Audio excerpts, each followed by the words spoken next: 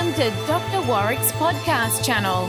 Warrick is a practicing cardiologist and author with a passion for improving care by helping patients understand their heart health through education. Warrick believes educated patients get the best health care. Discover and understand the latest approaches and technology in heart care and how this might apply to you or someone you love.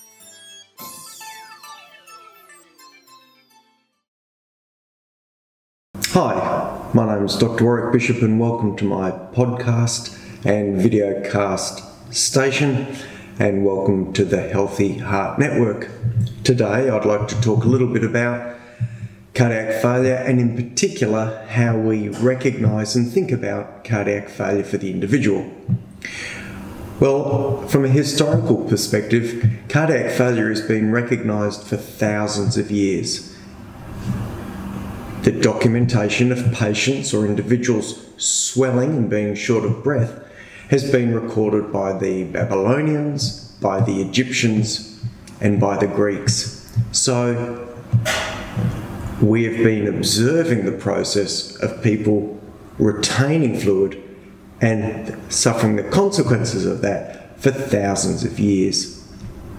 It wasn't until the end of approximately the 17th century when the term dropsy was used or applied to that symptom complex of retaining fluid and associated shortness of breath. The features were observed more and more and became recognised more broadly in the 18th century, but it wasn't until the end of the 19th century when two physicians called Blackwell uh, sorry, Blackall and Bright started to develop and advance our understanding of the process of fluid retention or dropsy. Their recognition was that there was two things that could lead to that situation. The first being problems with the heart, the second being problems with the kidneys. Both situations leading to an imbalance of fluid within the body. They also recognised that salt and water were central to this process. From that time on, there were efforts to try and control the condition by using removal of fluid to help the symptoms. This was done by two main ways. One was by altering secretions and making people uh, excrete or release more fluid, either through uh, diaphoresis, which is making them sweat, or through losing fluid through their bowels using purgatives. The other way that fluid was removed from the body was by direct means. So, some patients would undergo a process of bleeding where literally uh, blood would be taken from the veins. Some underwent leeching and some underwent lancing. This really went on for a good number of years, and in fact, it wasn't until in the post war era that we started to look towards mercurial agents as potential diuretics. These agents, although they had some efficacy or some effect, weren't really able to do the job that was required. And interestingly, it was subsequent to World War II, towards the end of the 1940s and into the 1950s, where the current modern diuretic agents were developed and started to be used. These are agents that hold salt in the urine and take salt and water from the body, allowing the kidneys and the urine to be the source of release of the extra fluid which has been collected as part of that process of dropsy or cardiac failure or even altered renal function. I'm going to stick to the cardiac failure component of it. Uh, the renal failure leading to swelling and edema is a different story altogether. In the modern day, in my practice, in my rooms, the patients who come to see me who have features of cardiac failure will tend to describe shortness of breath mainly on exertion. Often they'll notice climbing hills or climbing stairs or carrying their groceries as the thing that will trigger their awareness that they're more short of breath than usual. They may describe fatigue or lethargy or lack of motivation to do things because of that shortness of breath. It's pretty common for these same patients to also recognise some swelling, and they may certainly recognise swelling in their legs, and if it's worse, they may even recognise swelling in their tummies. There are two particular situations that we do see with shortness of breath in the setting of cardiac failure, and these are position related changes. Most commonly, when patients are sitting upright or standing upright, fluid that is within the body tends by gravity to be drawn to their legs or the lower extremities. This means that the lungs, relative to the fluid balance that's in the body, remain free or relatively free of the extra fluid that's been accumulated. One of the situations that gets described by patients with some regularity is a condition that we call orthopnea. Orthopnea.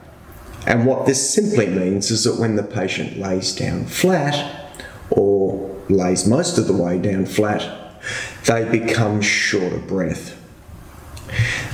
This is relatively easy to understand. It simply means that there is excess fluid within the circulation, that that excess fluid is by gravity being held in the lower extremities when the person lays down flat. That fluid then moves toward the chest and leads to congestion within the lungs.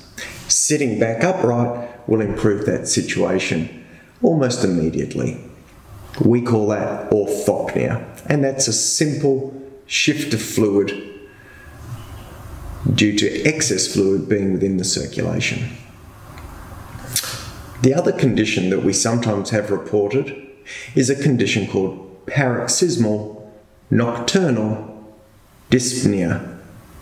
Paroxysmal nocturnal dyspnea. So, this is shortness of breath that comes somewhat out of the blue in the middle of the night. What patients will describe is that they go to bed without any problems. In fact, they don't have orthopnea. So, this condition is a precursor to orthopnea. These patients will go to bed relatively comfortable, they'll have several hours of sleep, but then be interrupted with shortness of breath, a feeling of suffocation. This clearly provokes anxiety and fear, these patients will sit up, get out of bed, and the historical reports, the clinical reports that we read about as training doctors is that these patients will open a window and get fresh air to help relieve their symptom. Well, what's happening with paroxysmal nocturnal dyspnea is there's still fluid overload within the body, but that fluid overload is mainly held within the tissues, not within the circulation.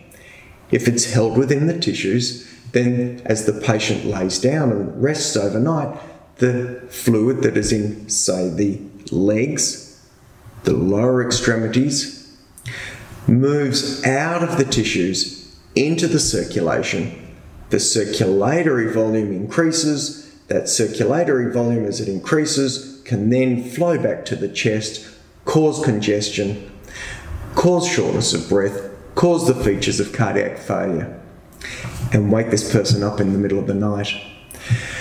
These patients really do get some relief by standing up, going to a window and getting some fresh air, by altering their posture, their position, that fluid starts to shift away from their lungs and that brings relief in terms of their breathing. So, when I see patients in my rooms, when other cardiologists and doctors are seeing patients with features of cardiac failure, how do we think about classifying those, those individuals with regard to the impact their breathing is having on them? Well, we use a simple scale which is pretty broadly used and really quite convenient in a clinical setting, doctors talking to doctors, so we get an understanding of exactly what a patient's able to do. We talk about a thing called the New York Heart Association classification of cardiac failure, and it has four stages.